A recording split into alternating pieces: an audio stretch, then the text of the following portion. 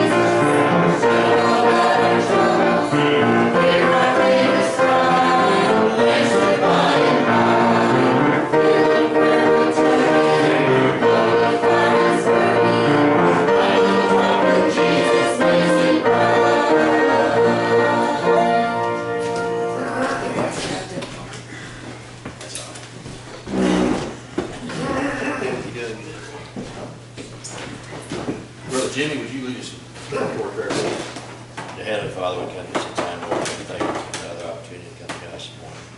We're thankful for each one who's come to your house today, Lord, and one's received the blessing of being here. Just pray that you be with ones, Lord, that lost loved ones, Lord, just to comfort them as only you can next time. Uh, Just be with the ones on our prayer list, Lord, just deal with each case according to your will. Just, Lord, just that you be with this church and always be found te- teaching your word.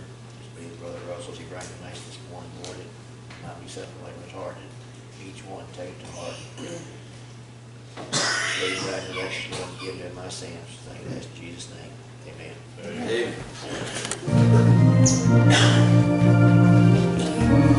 Amen.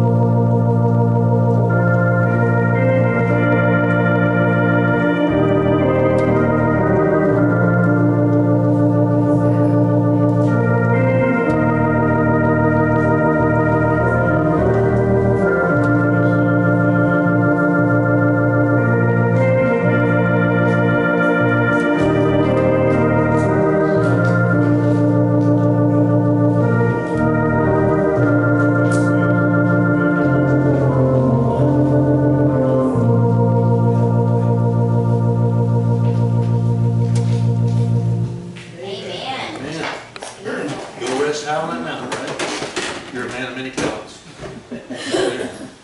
He can't just, he don't just play the hymn songs, he can play the other stuff too. Good. Proud to have you, brother. Amen. It's good to have all y'all here with us today on this rainy Sunday morning. Uh, I guess I'll go ahead and tell you, it's Assistance Day. We already know that. We've already had our assistants uh, filling in. They're doing a good job. We're proud for that. Want to let you know they're uh, having homecoming service at Pioneer Missionary Baptist Church today. Uh, Me and Shirley are going to be singing there uh, a little later on, so if you don't have anything else to do, come out and be with us uh, for the remainder of that service. We're going to be loading up his equipment as soon as the last amen is said and throwing it in the trailer and heading up that way. Amen. They said they's going to feed this preacher, but I, I got to get there in time before everything's gone. Amen. So, uh, all right, uh, I want to remind everybody, we're still going to have services here tonight at 5 o'clock, and we have services here on Wednesday night, 7 o'clock.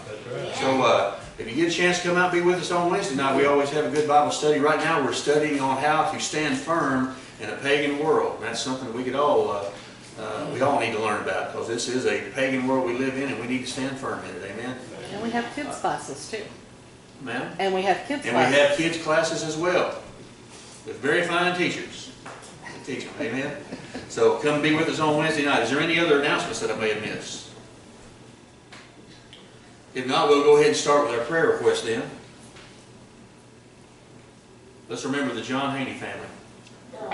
Huh? Don. Don. Dawn. I- I'm sorry, I thought it was John. That's Don. uh, Aunt Wendy's brother. Okay. Um, Remember he- Rhonda? Um, on the way to church this morning, there was somebody, I guess, I'm assuming hydroplaned off onto the side of the freeway. I don't know if they were okay, there were several cars over there, just, okay. like, they're all right, nobody got hurt. Let's uh, remember Brother uh, Fred Reed and uh, the Reeds, he fell again this morning, and they're staying home with him, uh, keeping an eye on him, uh, make sure everything's all right. You know, he done that about uh, nearly a year ago, maybe, maybe around that, and I broke his neck last year when he fell, so they're, they're keeping a close eye on him. Let's continue to remember uh, Sister Jan and and Deborah, uh, their time of loss.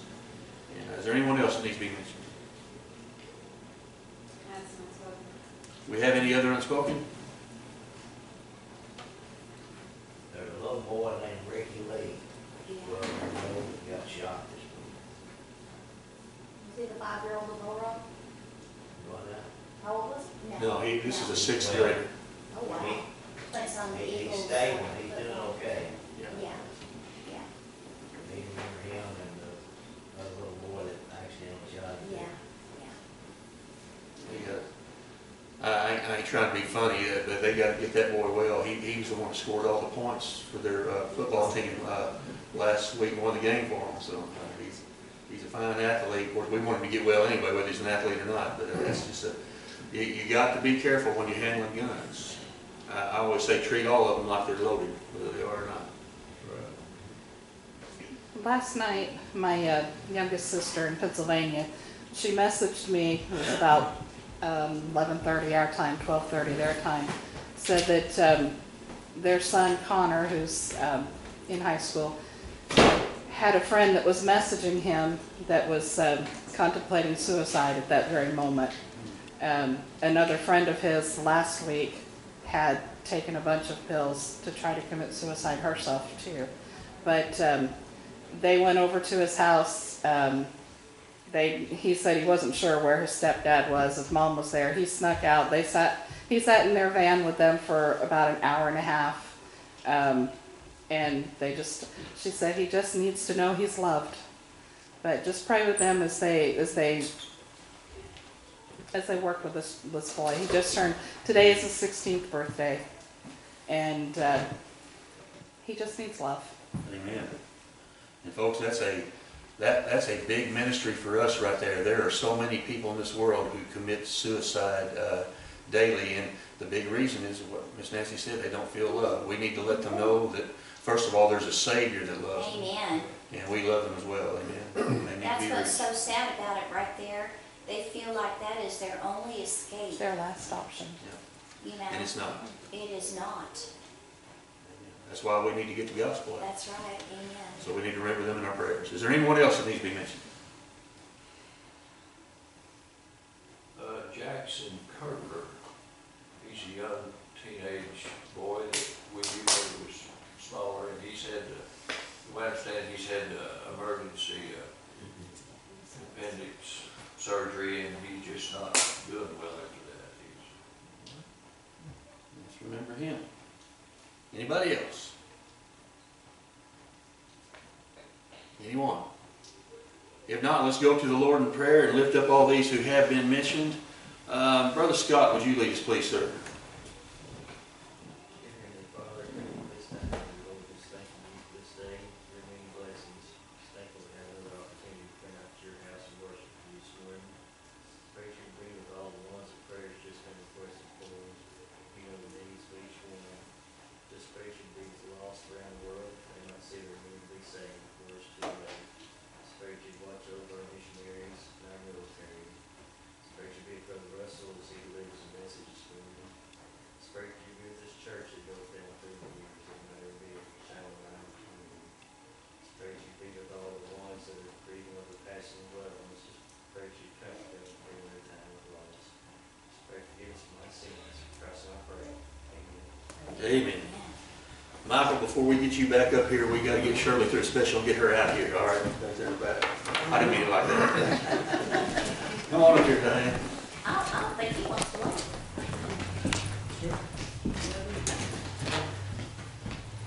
Seems me as usual.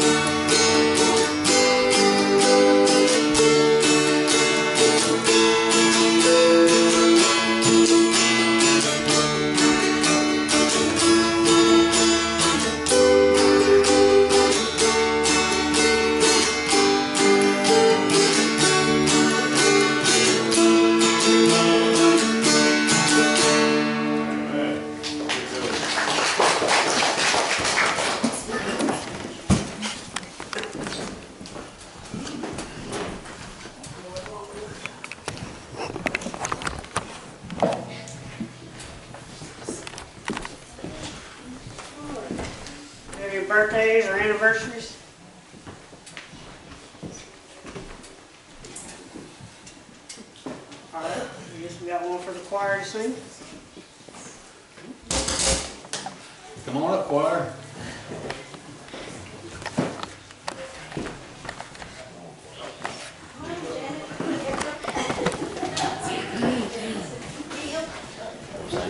Two twelve.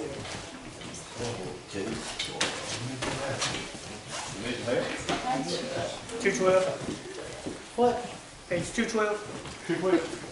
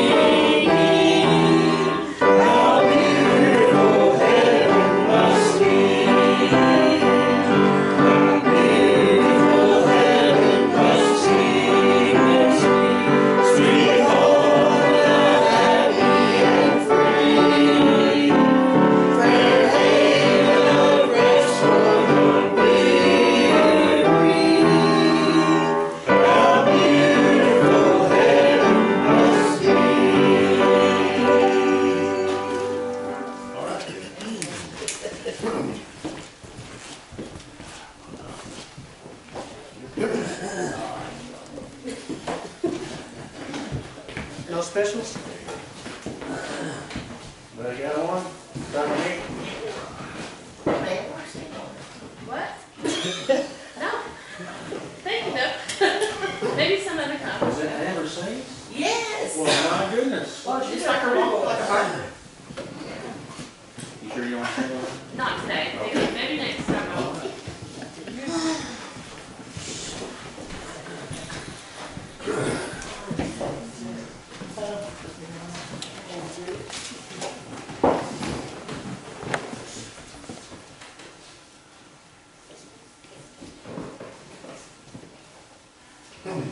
I saw it on the radio one time, Mama knocked knocked me off of it.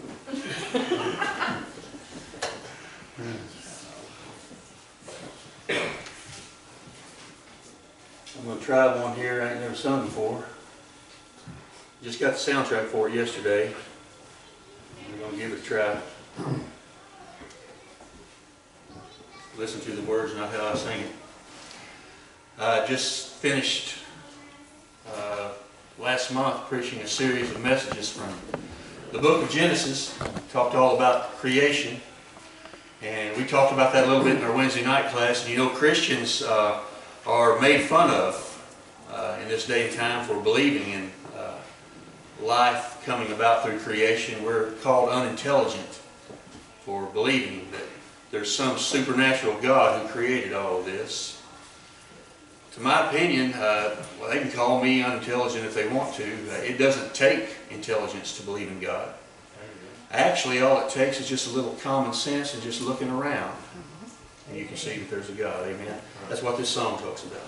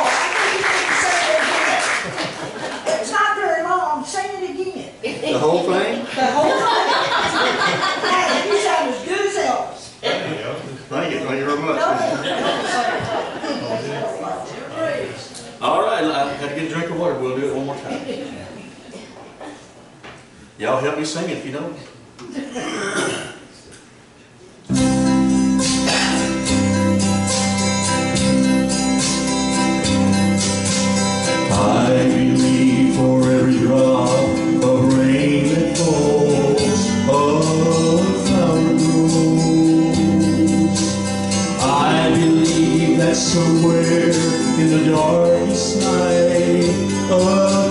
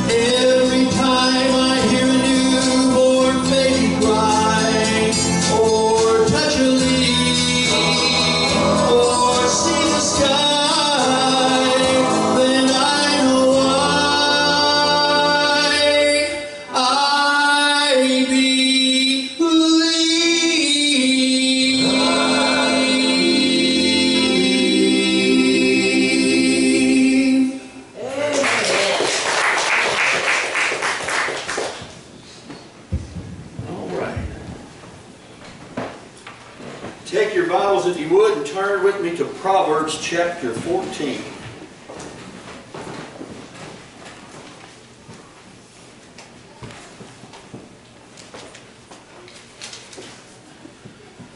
Proverbs chapter 14, we're going to look at verse 14.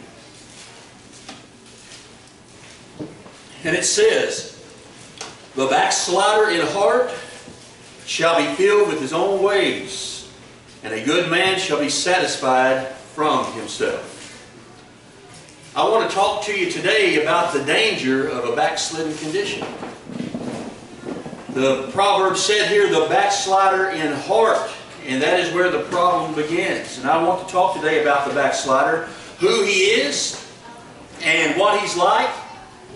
And you may be saying, Preacher, I hope that if there's any backsliders here today, that they're going to listen to what you have to say. Well, I might just be talking to you. You know, that's the thing about backsliders right there, friend. A lot of times a backslider doesn't even realize that they're backslidden. So, uh, what is a backslider? Some people may say, well, a backslider is somebody who is lost and doesn't know the Lord. No, that's wrong. A backslider is someone who does know the Lord. No unsaved person can be a backslider. You see, you have to go somewhere first before you can slide back. A backslider is someone who has known the Lord, who met the Lord, and then slid back away from the Lord, from that fellowship that they once had with the Lord. Now, they're still saved. Once you're saved, you're eternally saved. But he is out of fellowship with God. As a matter of fact, I want to tell you something. Uh, If there was ever a time that, that you love the Lord or serve the Lord more than you do right now, then you are backslidden. And, if there was ever a time when you trusted Him more, if there was ever a time when your prayer life was richer, if there was ever a time when you enjoyed and studied your Bible more than you do right now, if there was ever a time when you were a, a better soul winner than you are now, then you are a backslider. Now, you may be just slightly backslidden because there are degrees of this and you can barely be backslidden and you can get very far backslidden. We're going to talk about that within this sermon. But every one of us needs to pay attention to this sermon this morning because the Bible says the backslider in heart shall be filled with his own ways. And by the way, many are backsliders in heart before they are backsliders in action. The Bible says, out of the abundance of the heart, the mouth speaketh. As a man thinketh in his heart, so is he.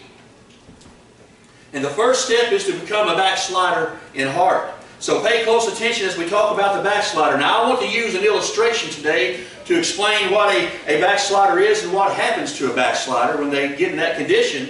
And there are a lot of examples I could use in the Bible, but probably the best one that I could use for an illustration is uh, to have you turn, I'd like for you to all turn right now in your Bibles to 2 Samuel chapter 11. 2 Samuel chapter 11, and in 2 Samuel chapter 11 we have the tragic story of David and his committing adultery with Bathsheba.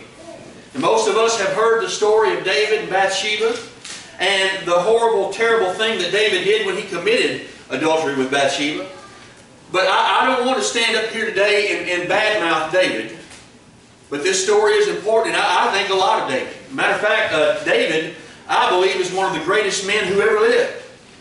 And I have great admiration in my heart for David. As a matter of fact, I've done so much study on David, and uh, I, I've looked at his life. I've brought series of sermons here on, on Psalms that he's written, and, and I've studied so much on him. I almost think of him as somebody I know, Brother Gary, even though I've never met him. But I look forward one day to meeting him in heaven and having some great fellowship as we just sit around for, for years and just talk about the things of God. But what a great man David was, and before I get into this, I just want to show you what a great man he was. First of all, uh, the Bible calls David a man after God's own heart. And first of all, he was a very courageous man. We remember the stories in the Bible about how he was a little shepherd boy and he would tend his father's sheep. One day a lion came up and he slew that lion. Another time a bear came up and he slew that bear. And we all know the story about how he made short work out of tall Goliath. Amen? But he was a courageous man. Not only was he a courageous man, he was also a gifted man. Very talented. He was a musician, a poet, a king. David, who uh, led the kingdom in such uh, heights of glory that he was probably known as the best king that Israel ever had. Few people in all the world have been more singly blessed and gifted and more talented and had more ability than what old David had. But not only was he a courageous man, and not only was he a gifted man, but he was also a very humble man. Did you know that after he was anointed to be king of Israel, he went right back to tending sheep? That's humbleness right there. That's humble. And David was humble, but not only was he so humble, he was also a, a noble man. You remember uh, reading in the Bible how Saul was trying to kill David. Now, Saul was king of Israel at this time, and he was jealous of David, and he wanted him dead. And David fled for his life, the Bible says, like a partridge on the mountains of Israel. And yet there came a time where David had the opportunity to kill Saul. It would have been very easy for him to take his life. But you know what? He didn't do it. He didn't do it. David said, God forbid that I should touch the Lord's anointed. I mean, what nobility this man called David had. Now I want you to listen to me. The reason I mentioned all of those great things, of all of those great things that he was, and yet David backslid. He fell, and he fell hard, and he fell terrible, and folks, tragic, very tragic, was the fall of David. Now that brings me to tell you something, and I want you to listen. I want you to hear this. If David became a backslider, don't you think that ought to be a warning to you and for me? I mean, listen. There is not a person in this place today that loves God any more than what David did. A man after God's own heart. And folks, this is a solemn warning. What a solemn warning this is, this passage of Scripture, it ought to be to every one of us. To think that if it could happen to him, it could sure happen to us. So I want you to pay attention. Please don't let the devil steal away your attention. Don't let the devil steal away the seed that can be sown in your heart and in your mind today. Now, I want you to look at this story of David's sin. And the first thing I want you to see, my first point, is what I'm going to call the cause of David's sin. What caused this backslidden condition? I'm going to tell you something. It didn't happen overnight. It was a process. It was a process. And the very first thing uh, uh, that I want you to see, let's just look here in chapter 11, uh, verses 1 and 2. It says, And it came to pass after the year was expired, at the time when kings go forth to battle, that David sent Joab and his servants with him, and all Israel. And they destroyed the children of Ammon and besieged Rabbah. But David tarried still at Jerusalem. And it came to pass at an evening tide that David arose from off of his bed and walked upon the roof of the king's house. And from the roof he saw a woman washing herself, and the woman was very beautiful to look upon. Now, we're going to be talking here, folks, about the cause of David's backslidden condition. And the very first cause was the sin of casualness. The sin of casualness. David has become very casual about the things of the Lord. Verse 1 tells us that it was a time when kings went to war. But David wasn't at war. David uh, didn't go to fight Israel's battle. He was not gone fighting the enemies of Israel. David was the king. He was the commander in chief. He was the warrior king. And in his younger days, there was no way he would have been at home. He would have been right out there on the front, fighting where he was supposed to be. But you know what happened? David has had victories piled upon victories. David has known nothing but success. And now he thinks that he can send Joab and his men and say, you know what, God has taken care of us in the past, Joab. You just go on out there with the boys and y'all take care of it. God, He'll continue to keep on blessing. And David has decided to just live a life of ease. You see, what he's doing is he's taking God for granted. He's taking the blessings of God for granted. He's taking the, the victories of God for granted and he's sending somebody else out there into battle. Now the Bible tells us that we are to endure hardness as good soldiers of Jesus Christ. But let me tell you something. There are many Christians who are just like David was. God has blessed you in the past and you've known victory. You've known God's power. God has been with you and, and now you're beginning to coast. And now you're beginning to presume, you just simply assume that God is going to be with you and He's just going to keep on blessing. And you're committing the sin of casualness. And if you'll notice in verse 2, the Bible says, it was at evening time. It says at evening time. That means evening time. Listen, it was evening time that he arose from his bed. Look at that. Evening time, it's time to be going to bed, and he's just now getting out of bed. You see what he's been doing? That means David has been lounging around. He's been loafing around all day just being lazy. That doesn't even sound like David. How casual. Look at how casual he's become. You know, there's an old saying, an old proverb as it is, that says, an idle mind is the devil's workshop. It's very true. You've heard it. Folks, that's what happened to David. If they would have had TVs back then, Brother Charlie, he'd have been laid up on his bed all day long watching TV or on his cell phone with Facebook. He just simply taking it easy. And about evening time, he gets out of bed. Now, let me tell you something, folks. God never intended for any of you to be idle in spiritual things. He didn't. And God never intended for you to get out of the battle spiritually. Never. Never. You say, well now, Brother Russell, I'm going to retire one of these days. I'm getting about that age and I'm looking forward to retiring. Well, you may retire from your earthly job, but listen, you're never supposed to retire from serving Jesus. Paul said, I beseech you, brother, by the mercies of God, that you present your bodies a living sacrifice. That means you retire from serving the Lord when you're dead. You're to be a living sacrifice. I want to tell you, those of you who are retired, that doesn't excuse you from serving the Lord. That just gives you more time to serve the Lord.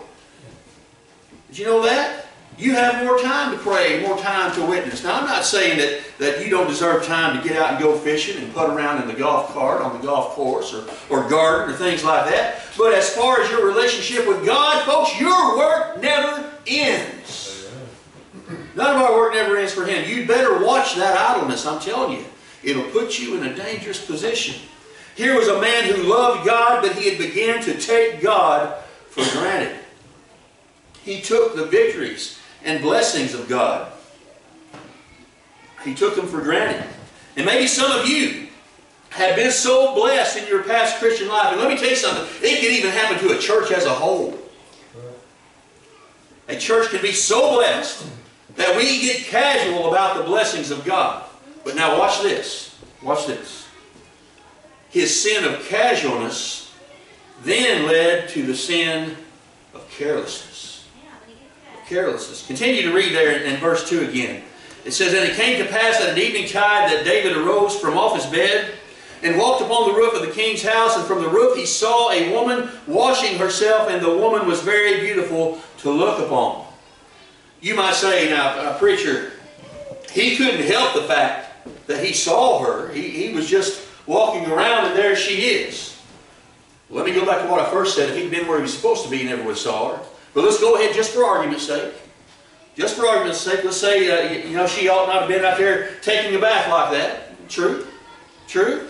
And, and I will say this, if God holds a man accountable for lusting, certainly he'll hold a woman accountable for acting or dressing or undressing in a seductive way. But the idea here is, folks, when the Bible says she was very beautiful to look upon, the idea is that David just stayed there and he stared and he gawked and he gazed at her. He looked upon her with bad thoughts in his mind. Remember what Jesus said in the book of Matthew? He said, Whosoever looketh upon a woman lustfully hath committed adultery in his heart. You see, David now, had, he's, he's been very casual, and now he's becoming very careless. I mean, had he been in battle, or had he been close to God like he should have been, the very moment that he saw her, he would have turned away and not looked. But now he's entertaining thoughts in his mind that he has no business entertaining in his mind. But you say, preacher, it's all around us. It's all around us, preacher. How can we help it? The, the sin of lust, the temptation of lust is all around us. Folks, listen. It, sure is. And we can't keep the birds from flying over our head, but doggone it, we can keep them from building a nest in our hair. There you go. Amen? And here's what happened to David. This thing is beginning to lodge down in his heart. You see, our, our text spoke of the, the backslider in heart. That's why the Bible says in Proverbs chapter 4 and verse 23, to keep thy heart with all diligence, for out of it are the issues of life. The Bible says, that a man thinketh in his heart, so is he. Whosoever looketh upon a woman lustfully in his heart hath committed adultery with her already. That's what Jesus said. And so here David is getting careless. He's dropped his guard. He's not keeping his heart. When the Bible says there that we're to keep our heart, that word keep means to guard. Guard your heart. And I want to tell you something, young men and, young ladies. Listen to me today. You guard what goes into your eyes and into your ears and into your mind. The Bible says to keep or to guard your heart with all diligence. Listen, you wouldn't put garbage in your mouth, would you? You don't need to put it in your mind either. The Bible says in Isaiah chapter 33 verse 15, He that walketh righteously and speaketh uprightly, he that despiseth the gain of oppression, that shaketh his hands from the holding of bribes, listen to this part, that stoppeth his ears from hearing of blood, and shutteth his eyes from seeing evil, he shall dwell on high. Now what God is saying there, God is saying that there is some violence and there is some sin in this world around you, and you'd better not look upon it. It's dangerous. Can a man take a fire in his bosom and not be burned? Can a, a man go upon hot coals and it not affect him? The Bible says that there are certain things that you are to close your eyes to. There are certain things you are to stop your ears up to. You're not to watch and you're not to listen. It's just like a little song that the kids used to sing. Be careful, little eyes, what you see. Be careful, little ears, what you hear. Be careful, little feet, where you go. For the Father up above is looking down in love. So be careful, little feet, where you go. But many of God's people, they've gotten casual. They're so sophisticated and they're watching things that they ought not to be watching. They're listening to things that they ought not to be listening to. They're going to uh, places that they have no business to go, associating with people they have no business to associate with. And folks, when you do this, you become careless. Careless. Now, David had first become casual. That was the first stage of this. And then he got careless. And folks, I'm going to stop right there. It gets worse. We'll talk about the other steps of this tonight. But maybe you're here today and you say, Brother Russell, that's, that's me that you're talking about. That's me. I, I've been one who's been careless. There, I haven't been doing much in the work of the Lord right now. I've been letting everybody else take care of it. Let me tell you something, brother or sister. If that's you, you are in a dangerous place. You're in the first step of a backslidden condition. Because you are committing the sin of casualness. And if you'll continue to commit that sin of casualness, you mark my word, before long, you're going to get careless. And you're just going to keep drifting farther and farther and farther away from God. If that's you, if you're in that condition, we're going to have a song of invitation. Ask, ask the song leader to come. Ask all of you to stand. If you are in that condition, decide today to make things right and to come back to God, get back in His will. Don't drift off in a dangerous backslidden condition. What are we going to say? 141.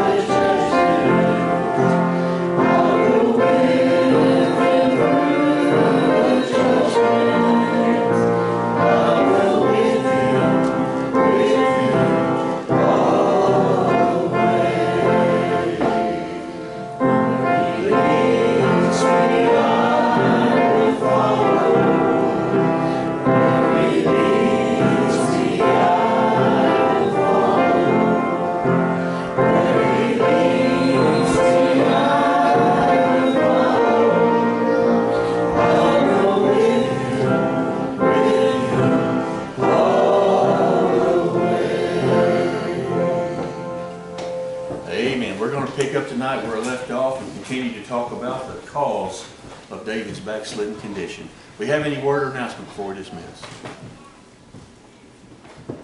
Want you to all remember the services at Pioneer this afternoon. Be a prayer for that if you can't come. If you can't come, we'd love to have you. Anything else? If not, let's go to the Lord in a word of prayer. Brother Charlie, would you lead us in closing prayer, please? And most holy and righteous Heavenly Father, we honor and thank you for Lord, we thank you for this day. Lord, we thank you for each one that's come out here to worship you, the true living God. Father, we just thank you for taking our place on the cross so we might have eternal life. Lord, we thank you for the church you established here. And Lord, we just ask for the leadership and guidance of your Holy Spirit that we might uh, always be found teaching and preaching the truth. Lord, we again ask you to be with the ones that's uh, on our prayer list. You know each case. Father, we just ask you to be with the bereaved, comfort them. Father, we just ask you to be with the lost, that if there's one here uh, that's not saved, that Lord, they might accept you before it's everlasting too late. Lord, it's these things we ask in your precious name. Amen.